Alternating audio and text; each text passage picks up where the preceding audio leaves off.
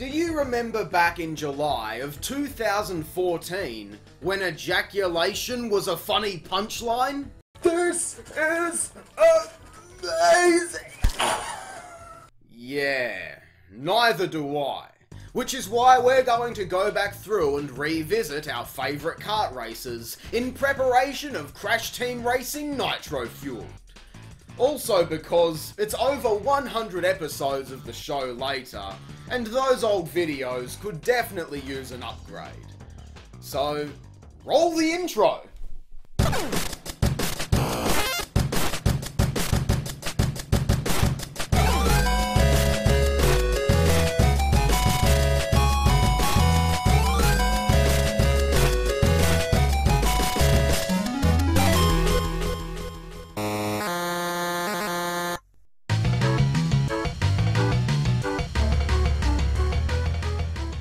Following Crash 3 Warped in 1998, Naughty Dog was essentially done with the Crash Bandicoot series. However, before their departure from Universal Interactive, the team slapped together a quick kart racer in an attempt to murder the franchise on the spot.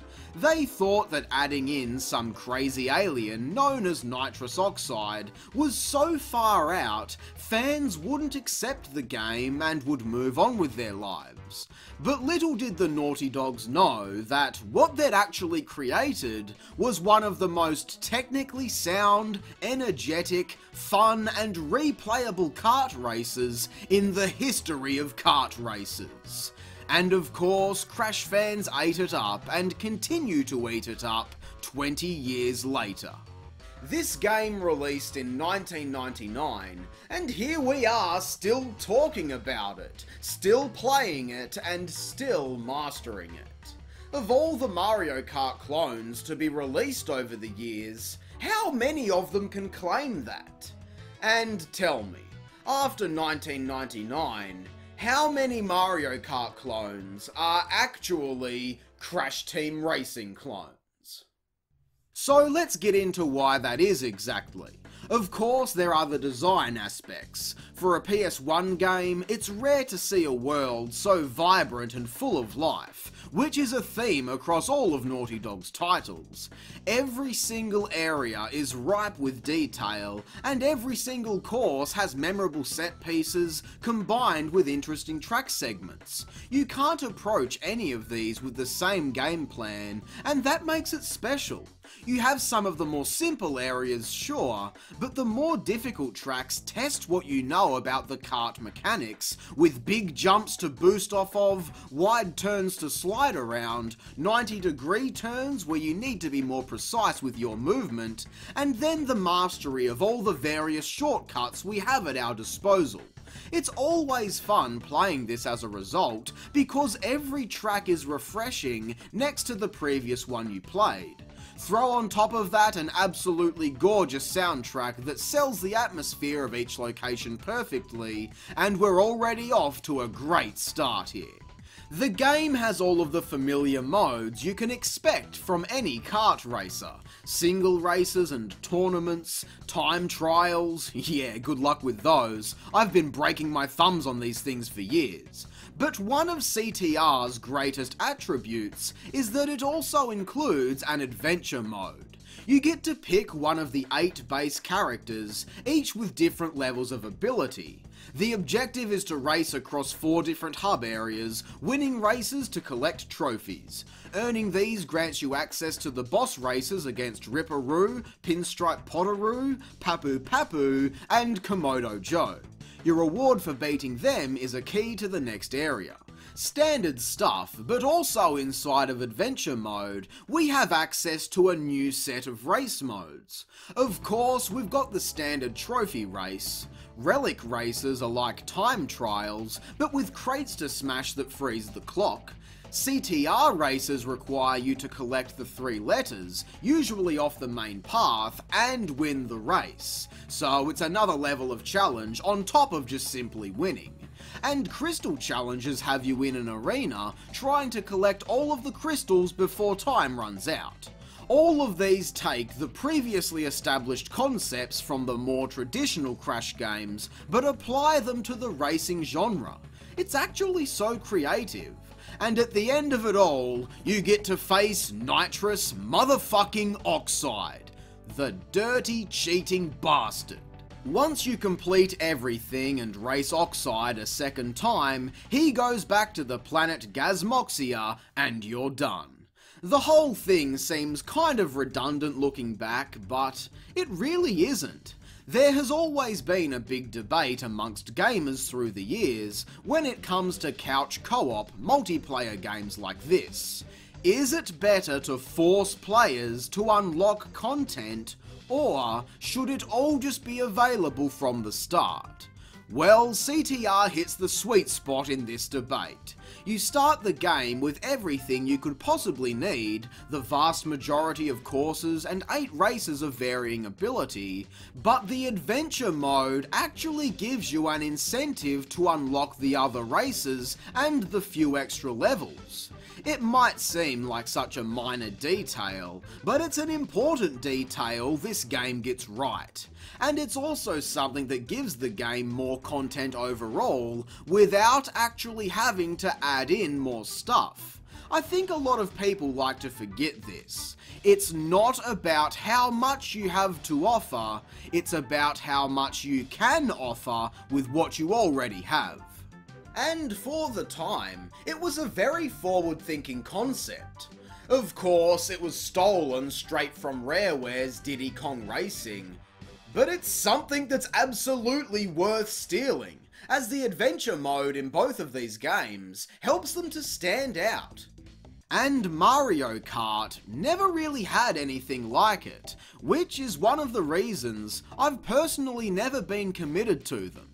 But look, the only thing that really matters with a kart racer, aside from maybe interesting track design, is the control. For a genre that breeds so much competitiveness, every move needs to land as the player intended. Look at fighting games. A slightly broken mechanic or move, and the entire thing is messed up.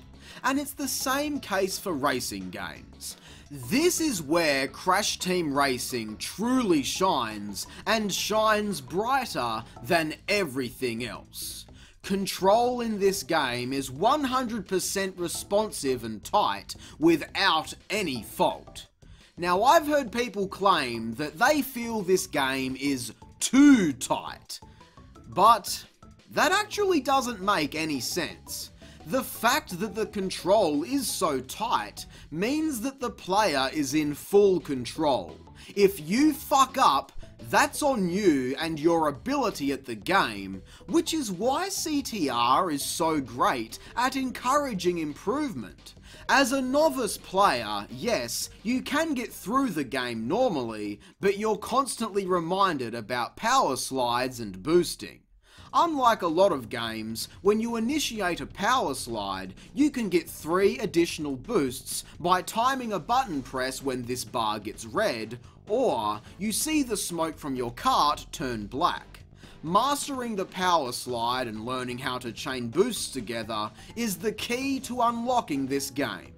You can also get boosts from launching from a great height, or from those cliche boost pads you'll see all over the track. This is how you gain a new level of speed, and to the game's credit, it does a fairly good job at keeping things balanced. If all you can do is drive around the course, the game won't fuck you up too bad. But the moment you start hitting this next level of speed, man, the AI is going to throw everything it has at you. Which is great by the way, the added challenge is what keeps it fun. But can you believe that's still not enough? There is actually an even higher level of mastery that most casual players probably don't even know about. And that included me for a long time, by the way. I used to think I was pretty good at this game, but not anymore. The people who have conquered CTR competitively over the years have unlocked an even greater level of speed. Linking so many boosts together and taking advantage of the game's boost reserve system allows you to maintain maximum speed longer than normal. and combining all of that with the super speed boosters laid throughout certain courses allows you to reach what has been dubbed Ultimate Sacred Fire. I mean, just look at how fast this is. It's ridiculous. This is why Crash Team Racing is still so beloved all these years later. Speed, speed, so much speed! When it released in 99, it was an absolute beast. But even 20 years later, still, it remains one of the most technically deep and proficient races of all time. And this thing spawned from the same people who made this.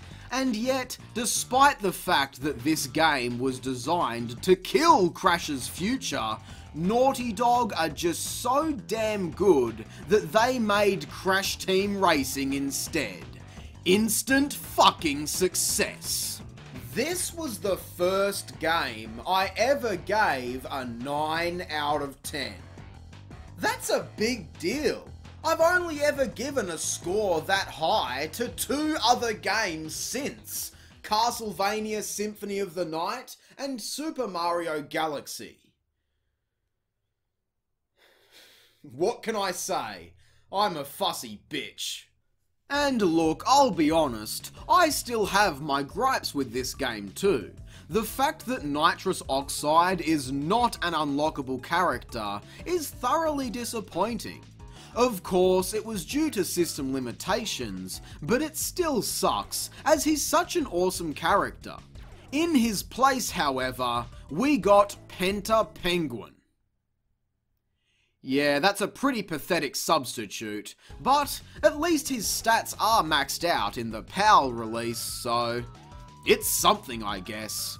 But the other piss off I've always had is that none of the unlockable races feature outside of adventure mode, meaning we're always facing the same lineup of characters. In Mario Kart, on the other hand, everyone shows up to race.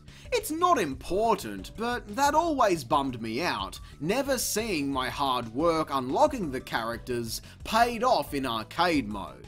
That's just me though, and along with Oxide not being playable, the game is still so good, it's not even worth complaining about.